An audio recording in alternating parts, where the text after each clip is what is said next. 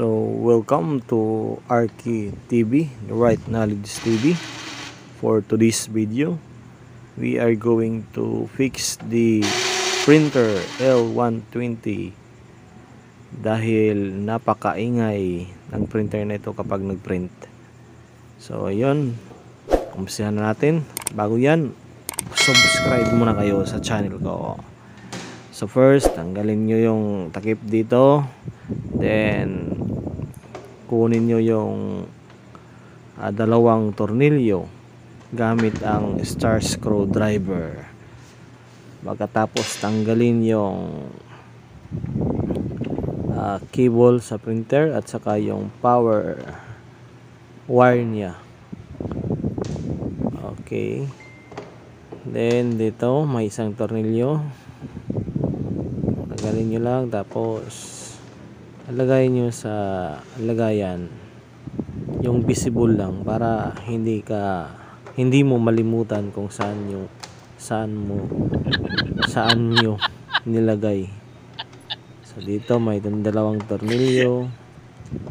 Then maganda lang kayo ng papel para ah, may, may lag- malagyan kayo ng takip sa tank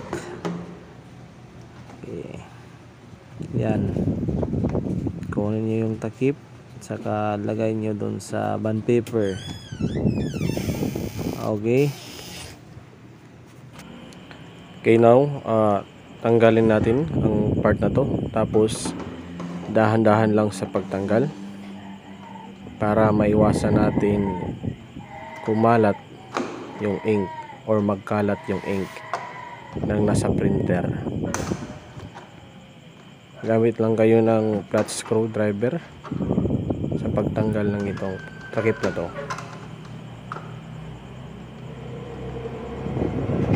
dahan-dahan. Okay ngayon balik natin yung takip. So it na tama ang paglagay nyo ng takip mo. Kung saan yung black doon talaga lang ah, doon nyo ilagay. Saka yung magenta baka kasi magka magka magkasaksak sinagol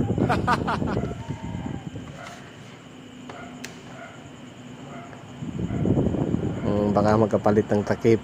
Mm. Saka tanggalin nyo yung tornilyo dito para mabuksan natin yung cover ng printer. Dalawa lang ang tornilyo dyan. Dalawa. Ah, ganyan talaga kapag wala kang pera tiyaga lang sa pag ano ng printer.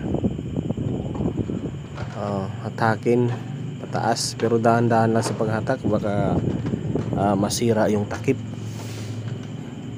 Mm, dahan-dahan lang it will take time pero worth it naman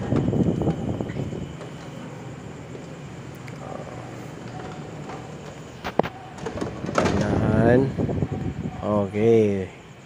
Tanggal na yung takip. Tapos kuha lang kayo ng oil. Lagyan nyo lang ng oil ang bawat part or roller. Oo. gamit ang oil na yan, 4 in 1. Lagyan nyo kaunti lang oil dito at saka dito yun lang